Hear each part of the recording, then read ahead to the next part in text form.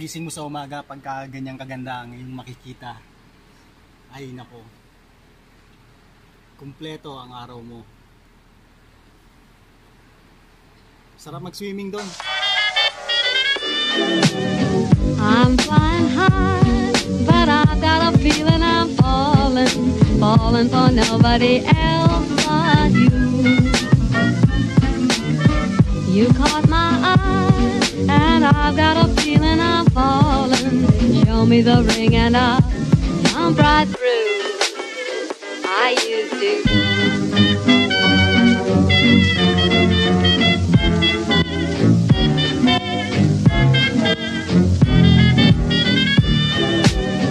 I'm flying high, but I've got a feeling I'm falling, falling for nobody else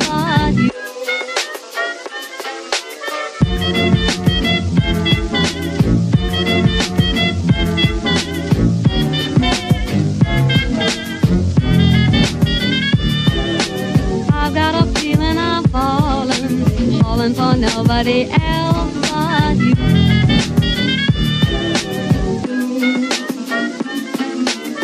I'm flying high, but I'm Manarola. Pag pupunta kayo dito, huwag kayong babiyahin ng linggo kasi napakahirap. Halika na, samahan nyo akong gumala sa Manarola, uh, Chinky Tere. Hindi ko alam kung na-pronounce ko ng tama pero yun yung lagi kong naririnig sa mga lokal. Sa ngayong araw, ah, i-hike namin itong itong buong bayan. Ah, magsisimula kami dun sa ibaba. Andun yung yung seaside doon, doon doon yung mga paliguan.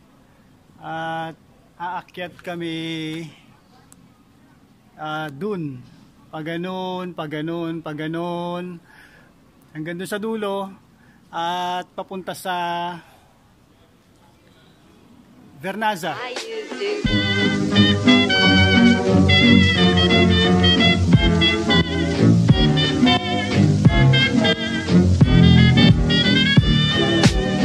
I'm flying high, but I've got a feeling I'm falling, falling for nobody else but you.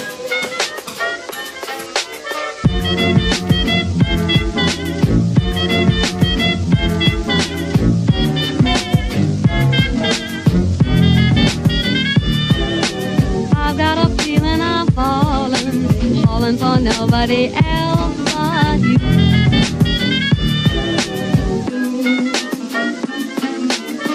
I'm flying high, but I'm. Show me the ring and I'll right through. Show me the ring and I'll jump right through. Show me the ring and I'll jump right through.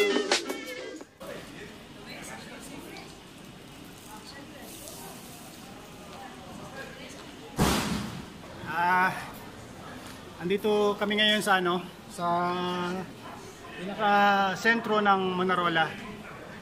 Ah, dito yung galing sa station, diyan sa may likod.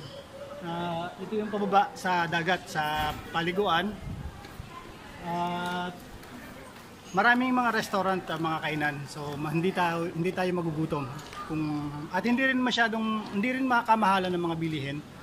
Ah, kagaya nung kinain namin kagabi na isang spaghetti ah, seafood na maraming ah, maraming maraming ah, ah, lamang dagat na halo.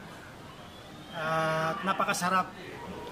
Ah, sa halagang 13 euro. Ah, sa baba doon pwedeng maligo, doon yung paliguan. Tapos may paakyat ng hike, may ah, pwedeng mag-hike pa pag ganun paikot sa dulo ng ah, hanggang sa kabilang ah, bayan.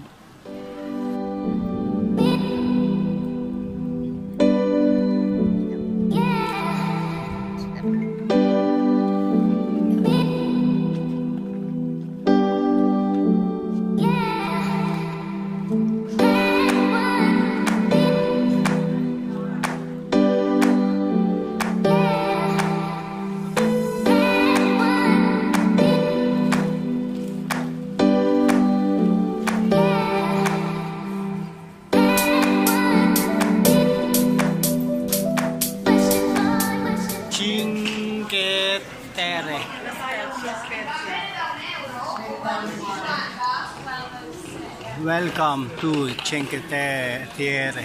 Cinque Terre. Cinque Terre. Cinque Terre.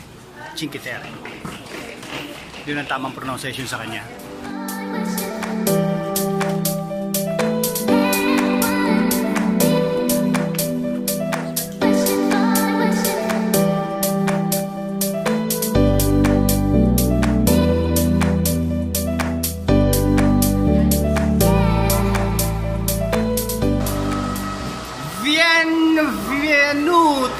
Mararola, Cinque Terre.